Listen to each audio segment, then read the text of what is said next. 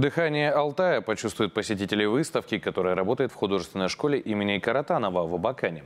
В ней представлено более семи десятков полотен, отражающих природу и культуру соседнего региона. Это не первая экспозиция, размещенная в школе, где теперь есть полноценный выставочный зал, рассказывает Наталья Гармашова не очень четкая идет, например, граница вот этой горы, да, угу. а она как будто Размыта. бы размыта чуть-чуть. И так вот он размывает все. И, конечно, чем дальше, тем плотнее он кладет белила. И о картинах хочется говорить бесконечно, обсуждать технику, игру тонов и красок, темы полотен. Глубина их содержания не имеет предела, как и эта Алтайская горная река не имеет дна. Именно такое восприятие бездонности и кристальной чистоты бурлящего потока дарит картина «Катунь осенью» Ербалата Нуриманова.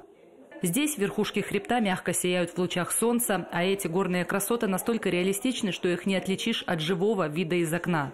Пейзажи, натюрморты, портреты, этнические и эпические мотивы 73 полотна в исполнении 32 мастеров кисти Республики Алтай представлены в художественной школе имени Каратанова.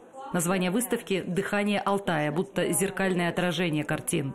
Я бы в пейзаже сказала, что они очень легкие и нежные. Это очень красиво и грамотно выполнено, и э, хорошо подобран цвет.